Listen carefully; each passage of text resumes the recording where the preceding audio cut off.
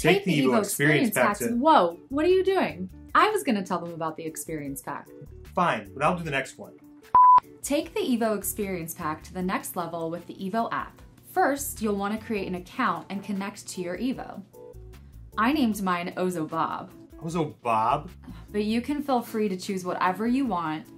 Get your markers and Experience Pack from your Evo Starter Kit. Go to the Experience Pack section in the app. Complete the first sheet, calibration, for your first star. Then fill in your first activity and place Evo on the start.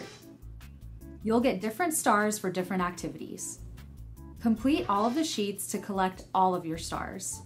If you got excited and dove into your experience pack without the app, don't worry. Just send Evo back through your completed sheets to collect your stars. Good luck! And be sure to watch the next video, my video.